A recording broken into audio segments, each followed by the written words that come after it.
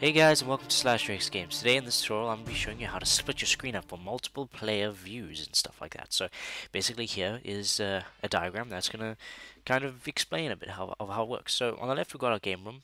Um, it could be as big as we want. I mean it could be like 10,000 pixels, whatever, you know, and, and whatever. And over here at the left, top left, we've got the region of player 1 and at the bottom here we've got a region of player 2. And here on the right we've got the game window. So basically what we're going to try and do is we're going to take these regions of playable area and we're going to map them to the game window. So basically we do this. So the left, top left player goes onto the left side of the screen and the bottom right player goes onto the right side of the screen. And you can split it up either way you want. So in this case I've got, for example, a 720 screen, uh, P screen and then we're splitting it in half down the middle so it's kind of like a square. Check that out. Otherwise you can go for two rectangles but that's kind of limiting so this is the way that we're gonna do it for this one. And basically there we go see?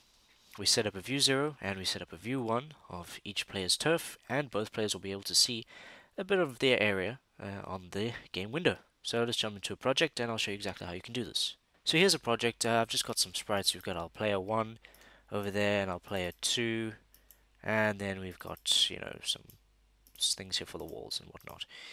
And in the background I've got this got this tile set over there. And objects I've just got some basic movement here for these for these player 1 and player 2 objects. Player 1 is handled with WSAD and player 2 uses the arrow keys. So if we go to our game room over here notice there are no views set up. So if we had to run this project right now it's just going to display the entire game room mapped to the entire screen. So that's not exactly what we want. So here I've got player 1 at the bottom and player 2 right here at the top left. And what we're going to do is we're going to enable some views. So we're going to map the area around the players to half and half of this screen. So to do this, we are going to go to the top of views, make sure you're on the views tab, we're going to enable the use of views, go down to view 0, this is going to be our first one, and we're going to put view 0 with player 1 here at the bottom right. So we're going to make sure that it's visible when room starts. Notice that it's now drawing this box over here. Okay but we don't want it to be near player 2 we want it to go all the way down to player 1 right down over here. So we've got some options. It says here view in room. Now these are the coordinates this x and y of where the player or you know or the start of your specific view is going to be in your room. Notice room not porting on screen. This is the room. So in this case it's right down here at the bottom right. So I'm going to set this up. In this case it's about 2360 and our y is 2280 see there? Now it's it's drawn. The box down here that's the origin here right of the box and it's drawing it a specific width. Notice that's this W and H width and height. Now because I'm going for a, a 720p you know overall screen and I'm splitting it down the middle it means our width is going to be half seven, uh, 1280 right over here. This is our width of the full screen 1280 but I want that half. So half of 1280 is 640 check that out. So now it's drawing that box to exactly the edge. Notice there's, that's pretty cool. And our height is still going to be 720 because we want it to fill the, the complete height of our screen. So now you got here port on screen. So this is basically do you want it to be on the left or the right hand side of the screen. Going back to our diagrams, let's open one up. So that's over here.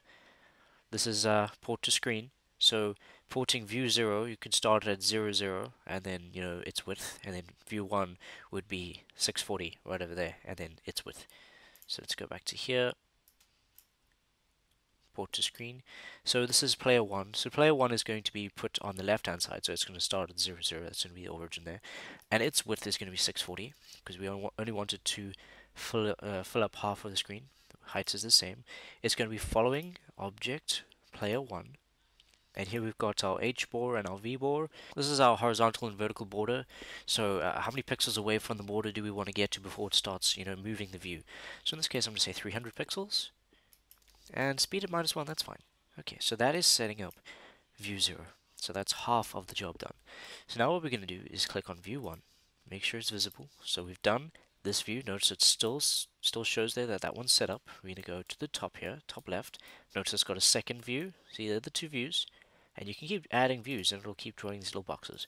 So here we go, view 1, and in this case, it's at 0, 0, that's our view in room right there, that's the origin. Just like the other one, our width is half 1280, so that's 640.